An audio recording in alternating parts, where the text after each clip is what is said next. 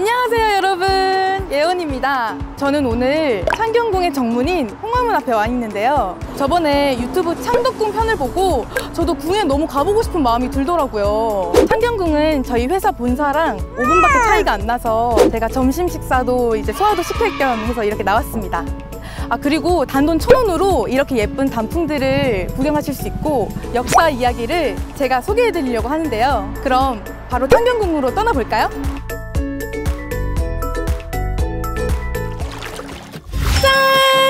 여러분 창경궁에 이렇게 들어오면 이 궁궐들이 쫙 펼쳐져 있는데요 그 중에서도 제 눈에 가장 띄는 건 바로 제 앞에 있는 옥천교입니다 조선시대 궁궐은 모두 이렇게 정문을 통과하면 대천을 건너는 돌다리가 지어져 있는데요 다른 궁궐들과는 다르게 지금 아래 흐르는 옥류천은 진짜 물이 흐르는 유일한 곳이라고 해요 그럼 본격적으로 창경궁의 정전, 명정전으로 들어가 볼까요?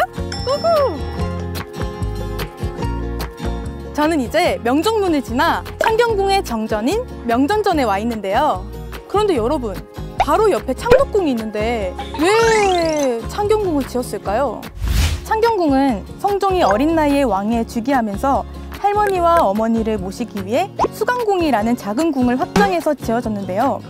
임금이 살면서 정치하는 공간인 창덕궁과는 달리 창경궁은 임금의 부모님을 모시는 거주의 공간으로서 활용되었어요. 솔직히 부모님하고 같이 사는 거 조금 불편하잖아요. 그래서 그런지 창경궁은 궁궐의 건의 같은 느낌보다는 사람 사는 냄새? 그런 게 있는 것 같아요. 그럼 이어서 문전전으로 한번 가볼까요?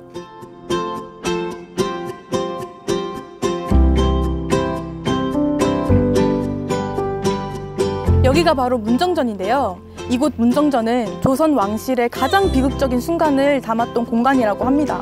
여기 문정전 앞마당 앞에서는 영조가 자신의 아들인 사도세자를 뒤주에 가둬 죽게 만든 곳인데요. 영조는 왜 그런 슬픈 일을 벌였을까요? 사도세자는 영조의 늦둥이 아들로 태어나 처음엔 큰 사랑을 받았어요. 하지만 사도세자는 커가면서 무인적 기질이 더 강해졌고 상대적으로 학문에 집중하길 바랐던 아버지 영조의 뜻과는 달랐는데요.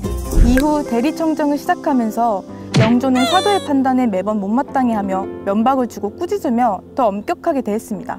이로 인해 사도는 아버지와 멀어지는 한편 정신분열증을 일으켜 심지어는 주변 사람들까지 마구 죽이기까지 했어요. 이를 알게 된 영조는 사도의 아들 정조에게 정상적으로 왕위를 이어야 한다는 생각에 사도를 뒤주에 가둬 죽였던 것입니다. 사도세자 이야기를 하면서 걸으니까 자연스럽게 문정전에서 경춘전까지 오게 된 것 같아요. 이곳은 해경궁 홍씨가 사도세자의 이야기를 담은 한중록을 집필한 곳이기도 하고 자신의 아들인 정조를 낳은 곳이기도 합니다. 한갑이 지나 이제 한숨 돌리며 쓴 글인 한중록은 당시 역사적 사건을 생생히 전해주는 대표적인 여성 궁중 문학으로 남게 되었어요.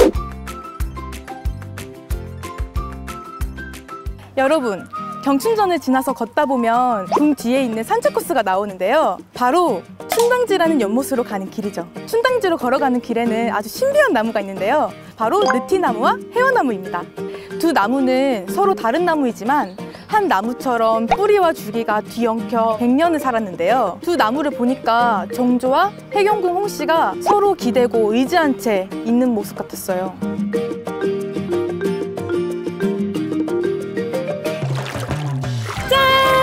여기가 바로 순당지입니다.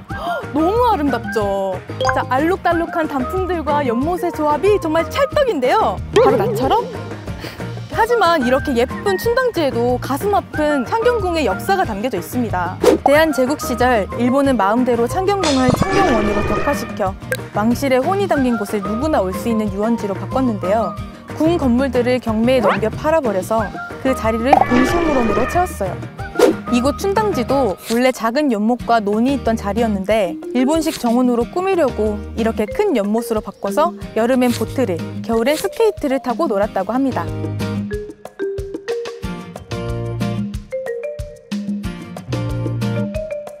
여기는 창경궁의 마지막 장소인 대원실입니다.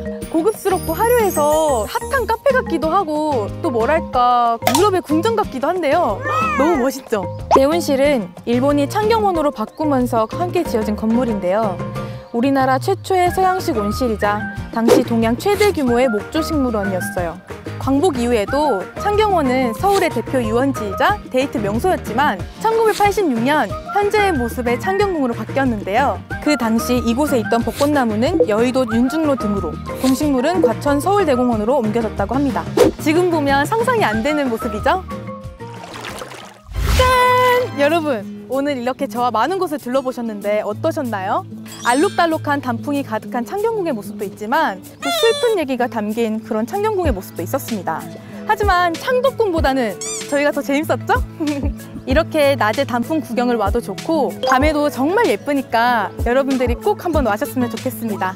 그럼 여러분 다음에 또 만나요. 안녕!